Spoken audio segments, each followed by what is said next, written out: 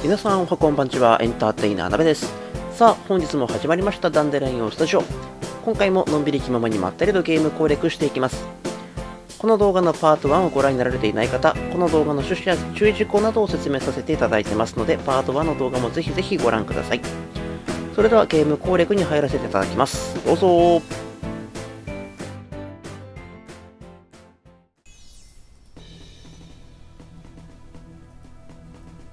はい。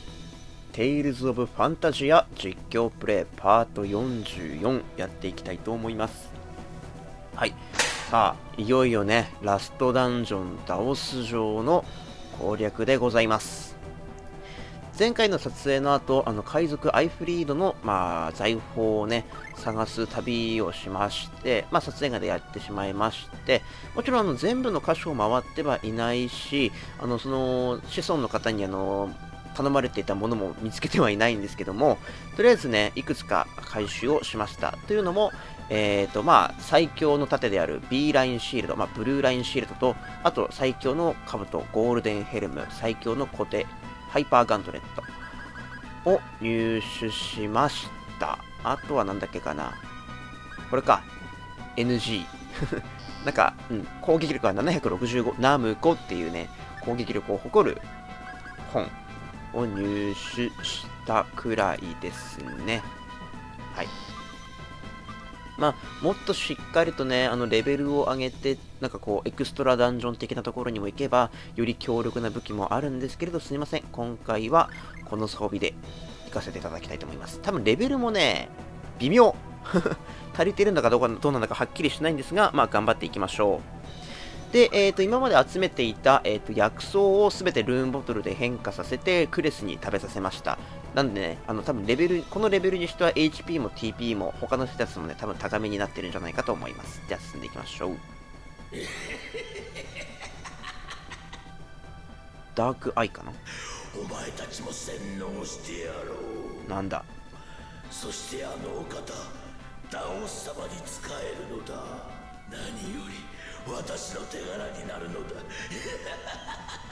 うるせえな。そしてくそくれ時空層挟む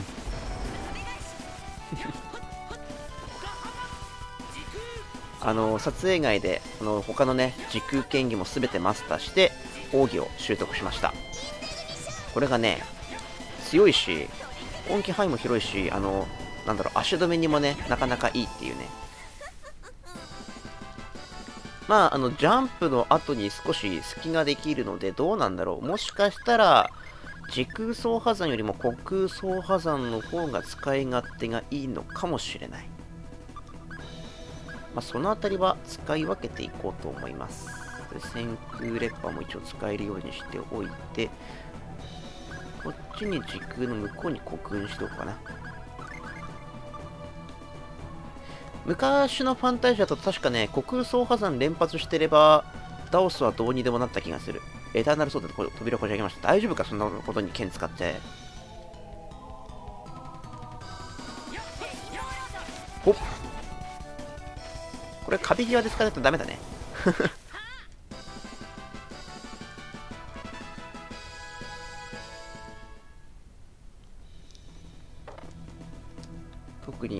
何かある感じではないな。地下室なんですけど。なんかね回収要素ないかなと思って寄ってみたんですが。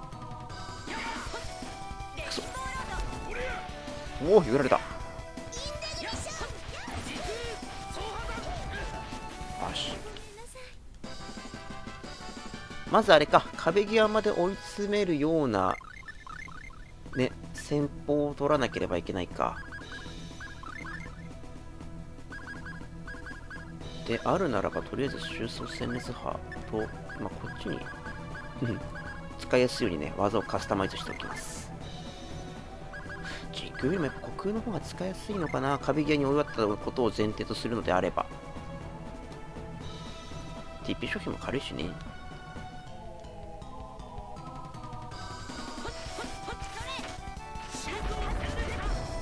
ぱね、収束戦列派はね、安定の使いやすさがありますね。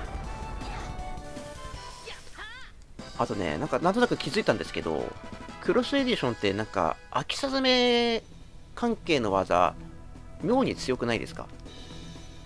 そのあたりも、なんだろう、調整されてんのかな？恐ろしい性能を誇ってませんかね？なんか昔月の威力こんな強くなかった気がするんですよね。よっしゃ今壁際まで追いやったんだったら技変えればよかった。しかし強くなっている。だからもう少しねレベルは高いのに越したことはないんですが何も宝箱ないっけか。なんかあったと思うんだけどな。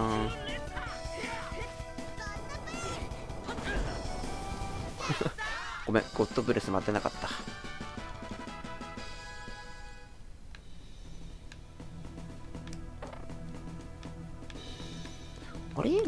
ないっけか？なんかなかったっけ？ここじゃないのか？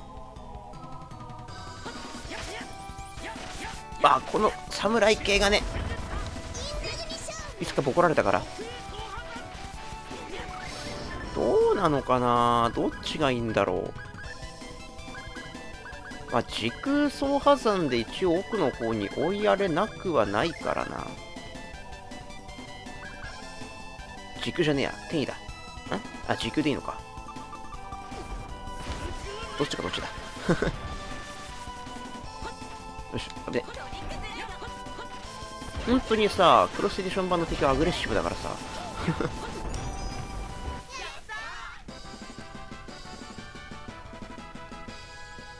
よしよしよしよし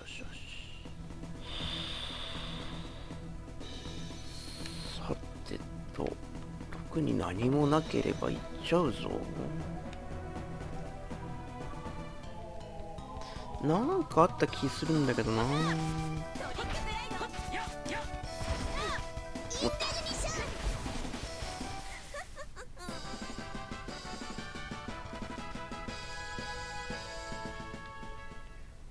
まあいいや、とりあえず進みましょ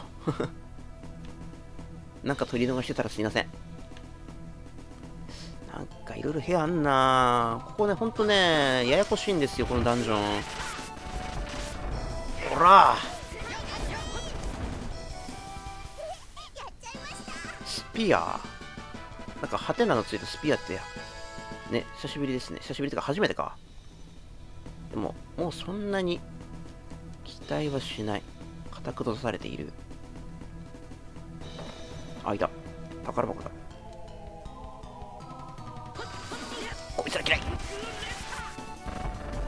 っしゃ、いいぞいい攻撃範囲だ。おらよしゃうん、古賀破山とね、虚空層破山の相性はめちゃくちゃいいんですよね。特に壁際において。いいね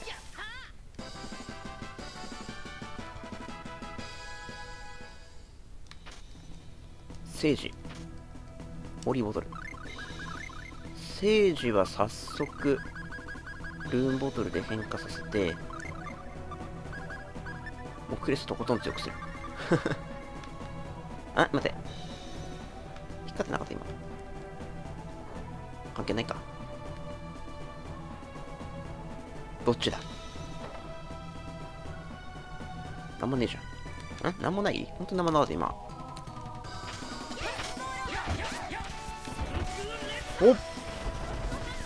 いいね どの技発動させるか迷ってしまう。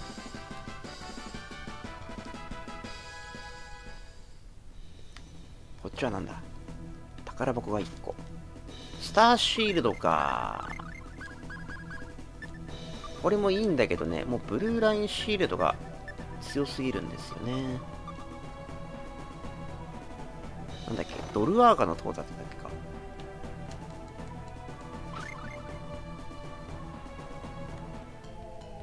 ドルアーガだよね。ハイパー、あの、ゴールデンヘルムとか。というわけで、まあ、そのね、サブイベントの、まあ、エクストラダンジョンをプレイして、手に入る装備っていうのが、あのー、まあ、この最強の剣エクスカリバーと、最強のよりゴールドアーマーなんですけれども、そこはですね、あのまあ、攻略難易度もここダオス城よりもきついですし、確か途中途中にね、セーブポイントが確かなかったと思うんだよね。だからね、奥に行くだけでも大変なのにね、敵も強いっていう。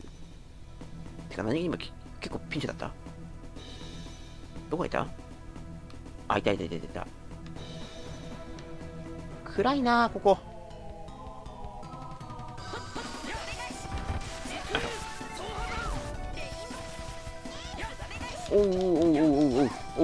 おう。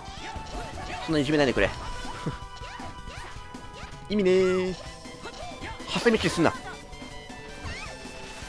あら。こっち任せろ。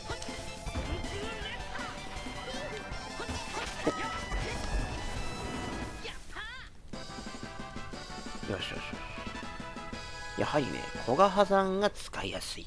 もうずっとこれ言ってるけど。あマジか。そういう仕掛けか。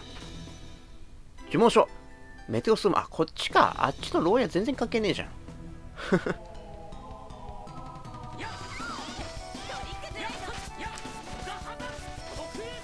空想破山攻撃範囲やばいよね。いいね。時空権限強いよ。しかも使った分ね戦闘終了後に回復するっていうね。お、宝箱。ルーンボトルと、ロース。あ、クロック？クロックか。でもこれ、これはもうね、いっぱい取ってるから、もう装備できる人いねえんじゃね？全部取ったよね。ああ、うん、どれもそんな大将ないもんな。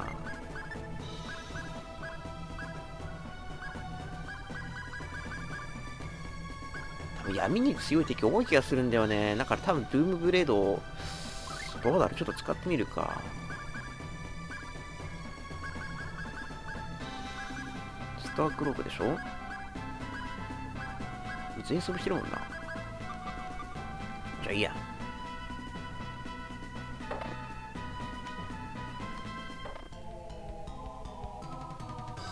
おっとっとっと。天空レッパー、時空走破山。いいね、メテオストーム。よしよしよし。やっぱね、結構、この、あの、なんだろう、リメイクだと敵めっちゃ突っ込んでくるから、なるべくこう、なんだろう、距離を保てるような、ね、技は、すごく使い勝手がいい。固く閉ざされている。そこを開けるため、え？なに、まあ、隠し必要的なのあったぞ。空想挟むくそロンドリーニが怒られてる。なんだなんだ危ない。危な。よし。まずミントにリザレクションを使わせるためには指示を出さないといけないからちょうどね短縮ショートカットには入れてるんですけどなんか進みそう。ちょっと待った。っちなんだ。もう大体いいもの揃えたと思うんですけどね。一応ね。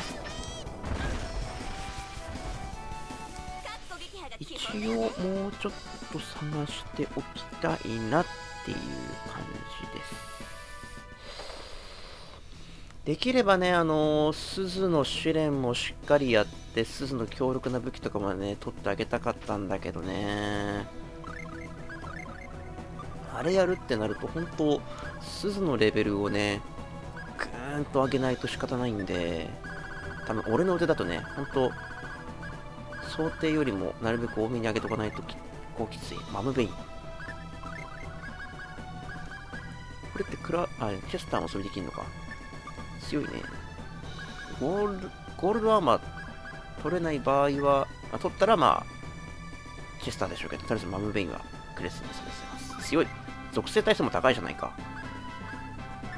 あ、リフレックそれできるんだ、こいつ。ですけど、防御力よりも、ちょっとの差だったら属性耐性をね、取りたいところです。てかまあなんだろう。結構戦えてる？あでもこういうゾンビっぽいやつにはダメか。たまにこれ当たってないですね。そうか、ドゥームブレードのは数値的には強いんだけど、そういう弱点があるからあんまり好きじゃないんだよな。お、レバーがある。何だったんだ？あ、そこか？くそ、誰が。よっしゃ。よっしゃ、いいぞ。しよしよしよし一瞬途切れてるよきっと大丈夫いいよ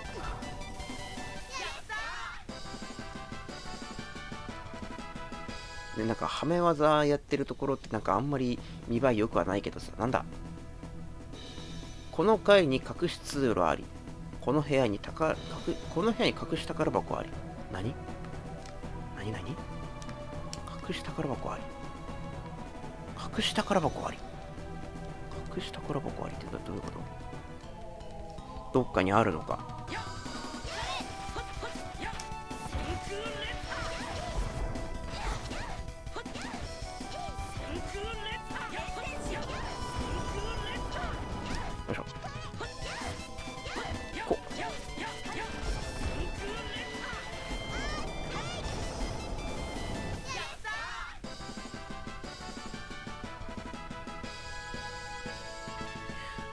隠し宝箱だ。うん。この部屋にって書いてるよね。どこだ？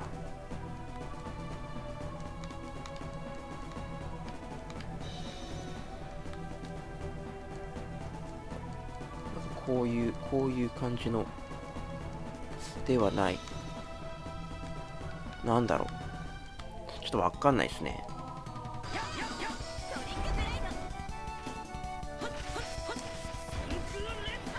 あーちょっと遠い。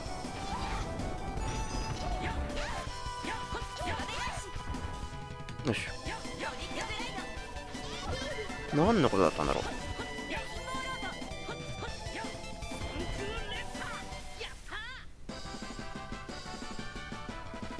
まあいいか。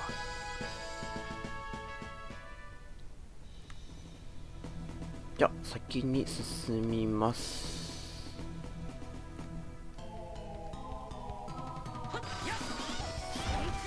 隠し通路って多分これのことだよね。隠し宝箱って何のことだったんだろ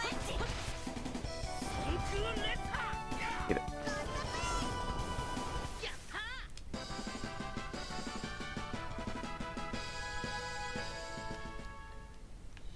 さてここで一回セーブですね。